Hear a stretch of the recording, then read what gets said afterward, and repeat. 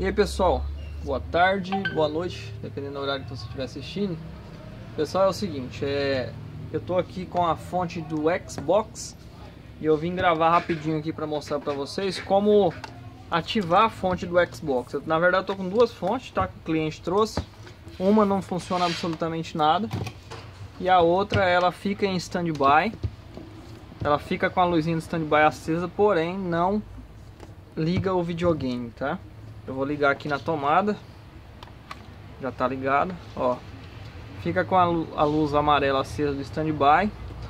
Não aciona a luz verde. Aí eu verifiquei aqui, ó.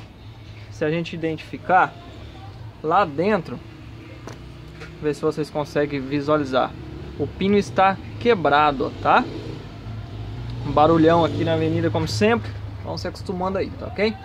Lá dentro o pino está quebrado, pessoal. Dá uma olhadinha. Como que eu faço para ativar essa fonte? Essa fonte funciona da seguinte forma.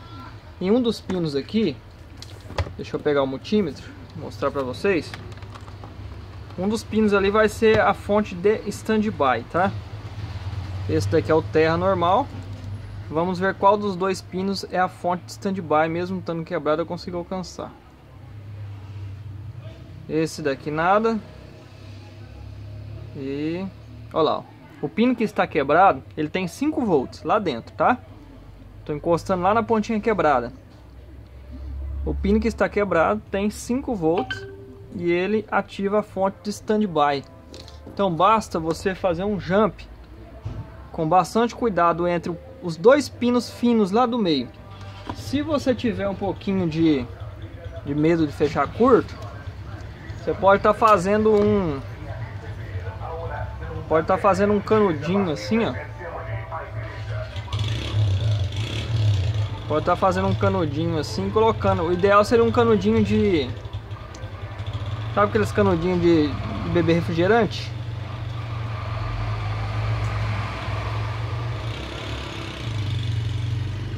Fazer aqui o enroladinho aqui.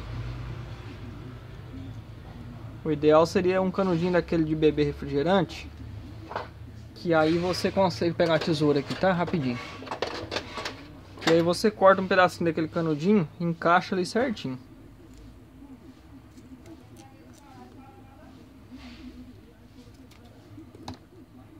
Isso daqui evita a gente fechar um curto aqui, ó. Tá, eu faço sem o canudinho, tá? Que a gente já tem prática, mas eu tô colocando aqui para poder mostrar para vocês que é mais confiável, tá? Ó. Que daí não vai ter o o perigo de você fechar curto. Tá? Mais um pouquinho. Aqui é tudo ao vivo, tá? Esse aqui já estraguei ele. Vou pegar um pedacinho de fita.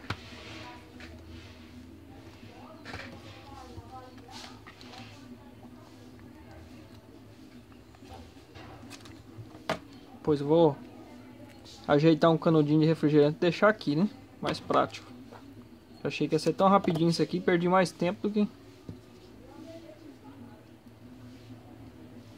Isso. Então tá, ó. A fonte está em standby. Basta agora a gente jampear os dois pinos, tá? Vou jampear o que está quebrado com o que está inteiro. E a gente vai ver se a fonte liga a luz verde, tá?